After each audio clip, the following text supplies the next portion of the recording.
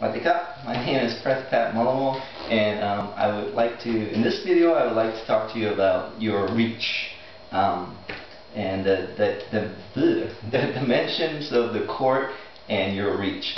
Uh, first I'm going to explain the, the dimension of the court.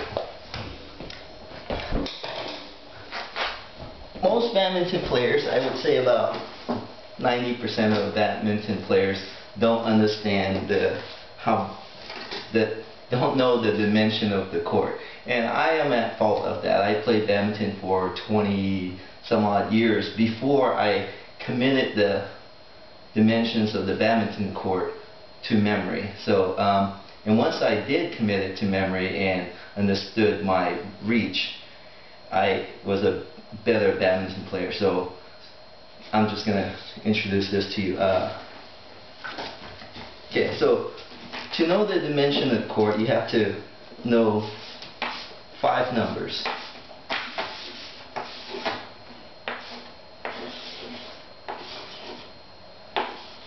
So the five numbers that you should be familiar with are 44, 20, 1, 2, and 6. Okay? That's it. 44 by 20, pretty simple. 1, 2, 6, the way I remember this is 1 plus 2 equals 3. Double that, you get 6. Okay, let me explain these numbers to you. 44 is the total length of the badminton court. 20 is the total width of the badminton court. Okay? Now, 1 is singles. So that's the singles alleys here.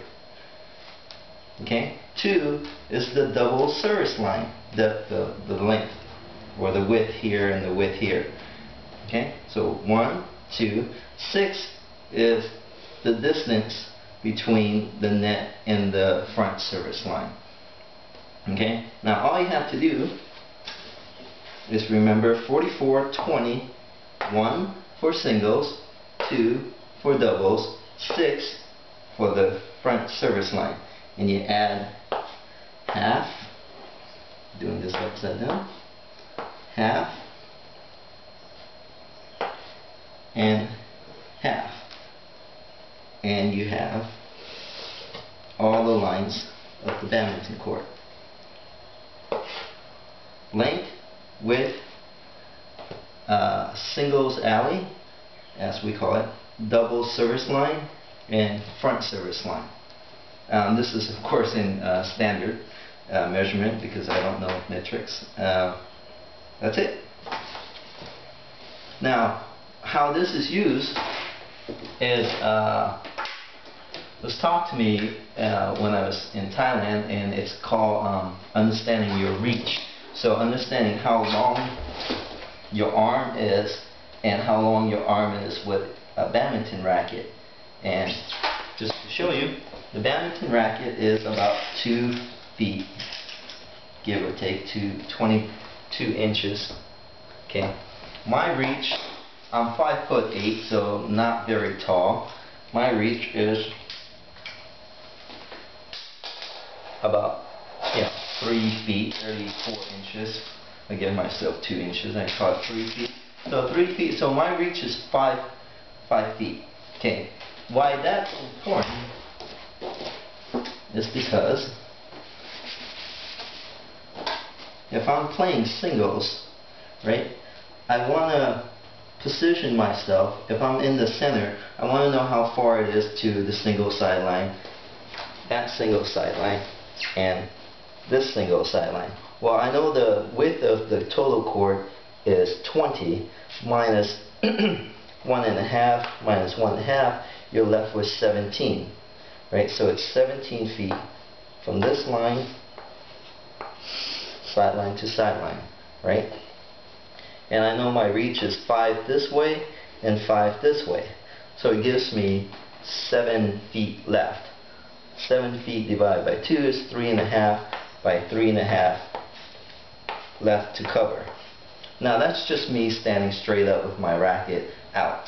Okay, If I include a split jump and a step, like in uh, swinging around the clock with the split, swinging around the clock with the split jump, I can cover the side to side with minimal movement. Now, this is important because you don't want to just move for the sake of moving, but you want to know how much you should not move. Okay? Now, same thing. Uh, because I know this total length is, or this total length is 44, I know that from here to here it's only 22. Okay, 22 minus six and a half minus two and a half gives me 17 left. So if I'm here, I know that it's only 17 feet. One, seven feet. 17 feet from front service line to double service line that I have to cover. Why this why, why this is important is because I want to position myself further back here. Okay, these lines represent uh, racket length. Okay, so just call this two feet, uh, two inches. So two feet. So one, two, three racket um, length back is where my uh, base position should be. Oh, forgot the most important. Okay, my uh, reach is 5 feet this way, 5 feet this way. Got ahead of myself, sorry. Um, 5 feet this way, 5 feet this way. And it's also 5 feet coming out this way. Okay? So, if you were to look at my reach, this is the floor, this is the net, this is me. My reach would come up about my arm plus the length of the racket, about 5 feet, and it would come out this way, about 5 feet. Okay? So double service line would be about, or front service line, double service line. Okay? That's my reach from a side view from a bird's uh, perspective, looking down, my reach would be like this.